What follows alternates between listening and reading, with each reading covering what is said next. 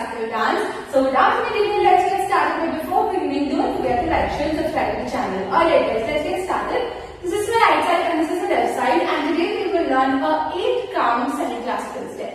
So this step starts like, the footwork goes like, right leg back, left leg back, right back, left back. And we will do this by taking the turns. So it will look like 1,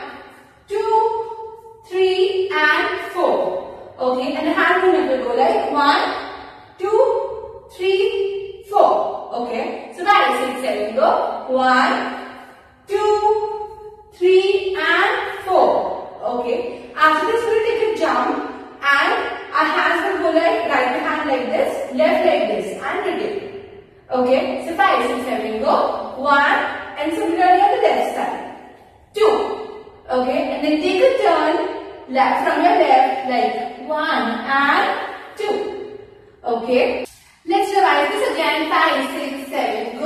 One, two, three, four and five, six and seven, eight. Alright guys, that's it for today. I hope you loved the video. Just let me know in the comment section below if you're loving the semi-classical dances. Thank you so much guys. Take care. Bye-bye. I'll look back for more such videos later.